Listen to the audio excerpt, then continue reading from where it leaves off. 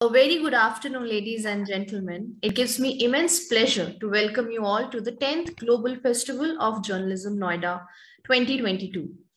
Moving ahead, I would now request Ms. Sahar Zaman to kindly say a few words.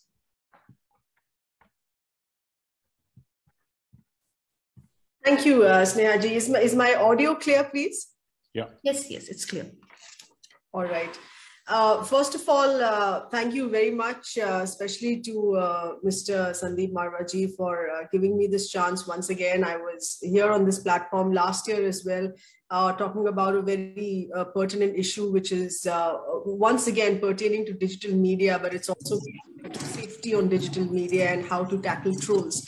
Uh, today and this year, a year after, uh, is an uh, equally, equally important issue that uh, all of us have been discussing here as far as digital literacy is concerned uh, in this age of when we're really surrounded by misinformation.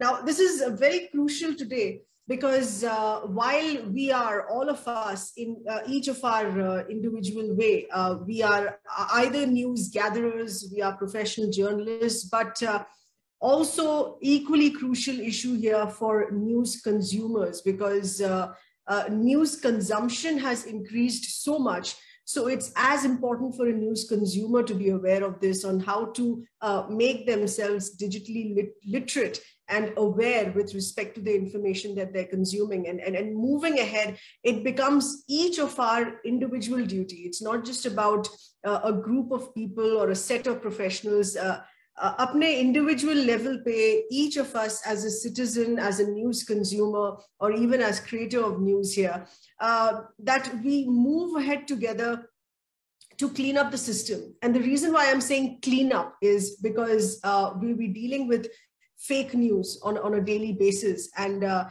uh, the role of journalism is uh, to, to always be true to the news, true to the facts, and uh, take the role of verification of information uh, far more seriously. I mean, we do a lot of vetting. There's a lot of vetting in the process here, but uh, a lot of time information is sent out. Just में verification नहीं होती है, verification का time भी नहीं होता है.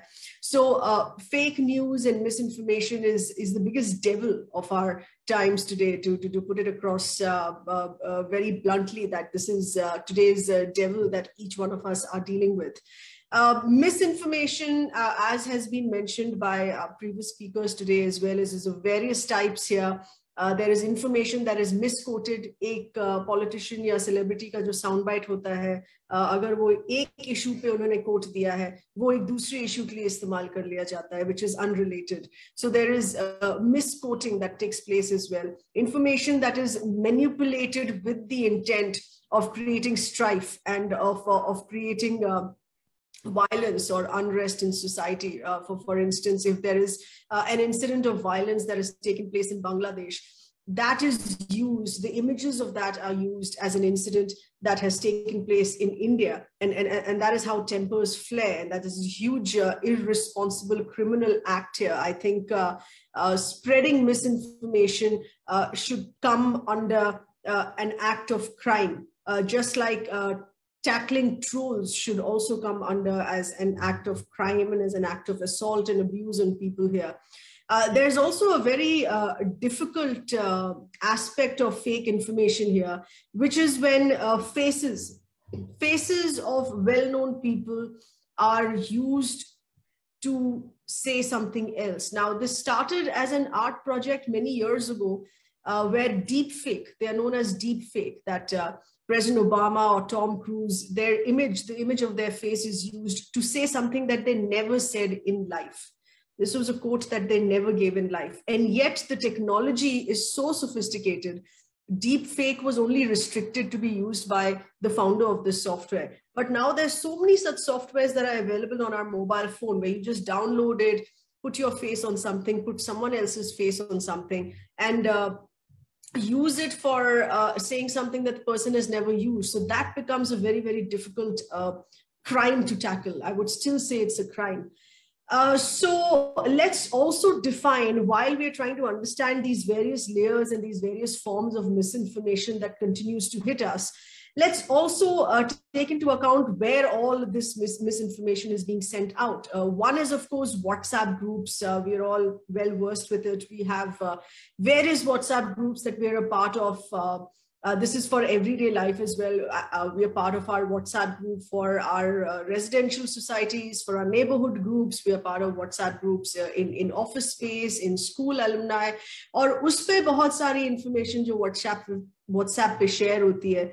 More often than not, I don't want to use the word mostly, but more often than not it is fake to the extent कि अब इसका एक pet name हो गया है कि ये आपको एक information आपको WhatsApp university से मिली है which which means to say that this is fake news this is wrong information uh, there is also uh, a string of information that comes on our social media feed uh, which is Twitter which is uh, Facebook uh, which is YouTube as well so we have to be very wary of where we are consuming information from and very unfortunately, I mean, I, I, I belong to uh, the television news industry and in the business of news here now for the past 20 years. But unfortunately, hum abhi is maqam pe pahunch that there are certain news channels as well.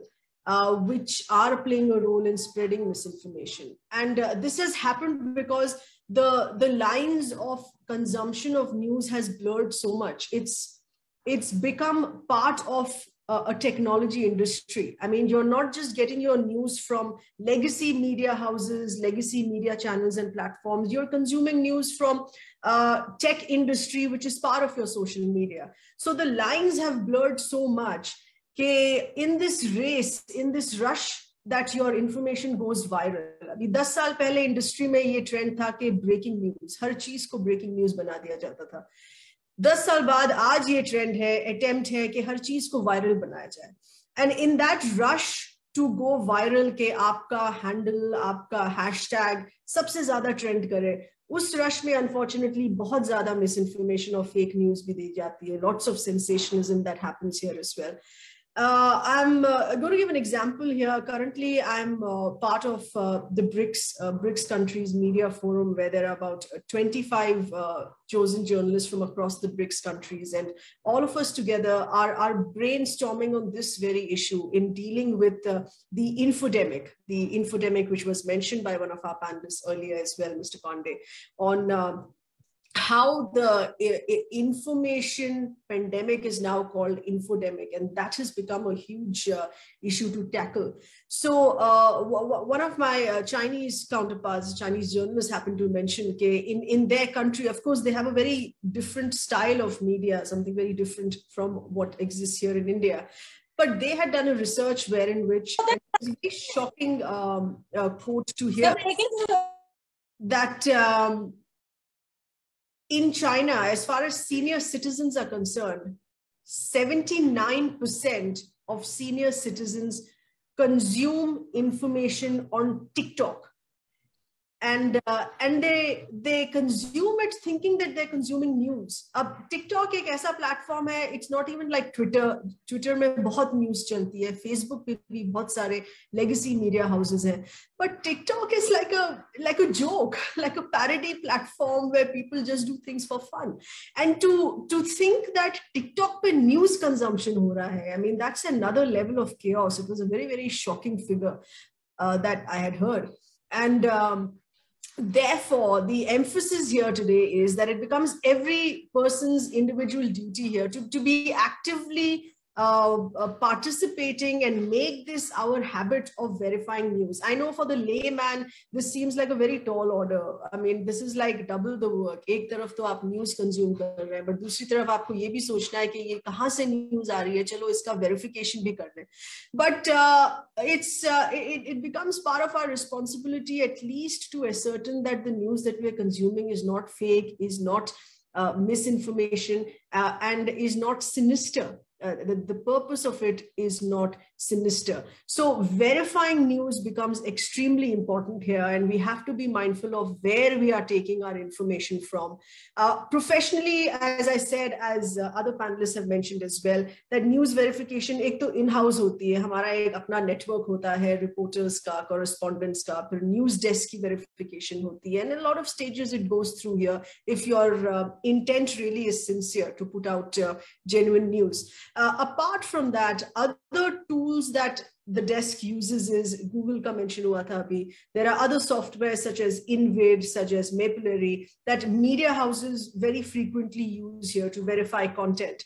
So right now, our uh, news industry is in a phase here where uh, the role of fake news busters becomes very important. वो लोग जो news को fake news को bast करते हैं जो fake news को पकड़ते हैं जो न्यूज को वेरीफाई करते हैं their role has become extremely important so uh, in fact uh, today as i speak I, i'm aware of certain journalism schools here who are also providing special uh, courses and workshops uh, where uh, they are taught the skill of verifying news. They're taught the skill uh, and they're, they, they, they're taught how to use softwares where you can bust fake news. So apart from just teaching uh, traditional journalism and reportage, there are also a separate section where students are taught in these workshops here on how to catch fake news because uh, uh एक news room में अब एक section भी बनता जा रहा है there are certain news channels here जहाँ पे उन्होंने एक सेक्शन भी बनाया है